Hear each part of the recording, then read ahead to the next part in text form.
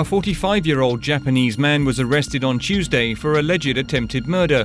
Ayato Kokubun is suspected of trying to kill his elder brother during their mother's funeral in Osaki, Miyagi.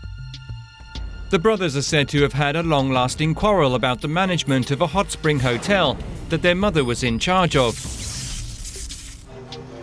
Kokubun had a previous conviction for hitting his elder brother with a car last April. The elder brother was badly hurt in that incident.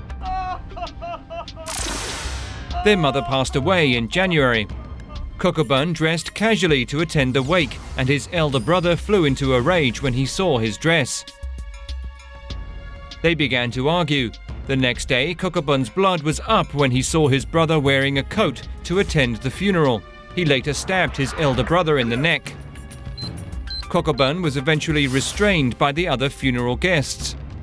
He later admitted to the charges, saying that he had intended to kill his brother.